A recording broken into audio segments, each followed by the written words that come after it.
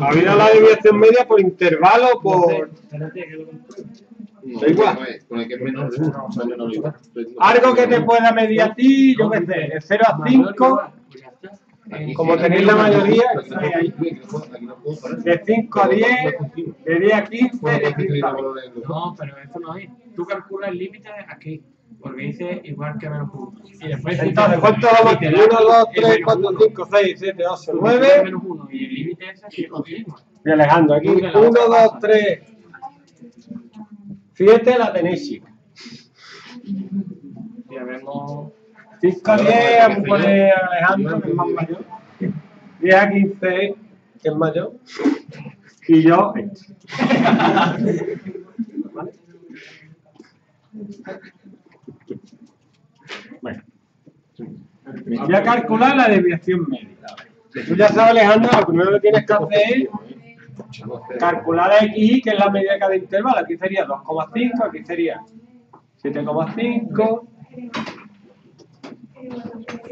Y tienes que hacer primero la media, ¿vale? La media que hace X por NI y sumarlo. Y me dan mi calculador.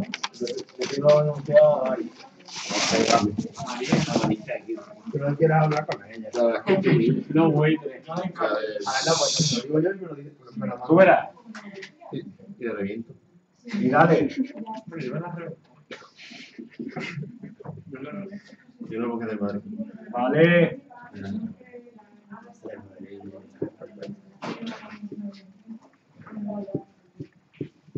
María es que no tiene más que falta.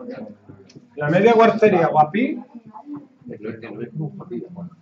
55 partido 10, 5,5. Bueno, pues la desviación media es. Mírame. La XY menos la media, el valor absoluto por N. Sería 2,5 menos 5,5 por 100.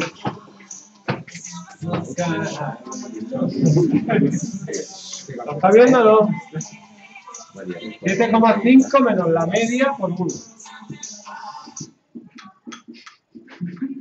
Esto siempre es valor absoluto, ¿eh? Si te da negativo como aquí, es positivo. Lo vacías no te da.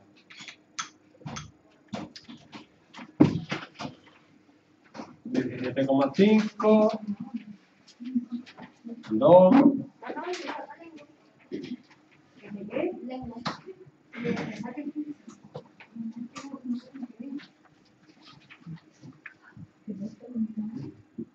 Treinta y ocho coma cinco. Y la desviación media es.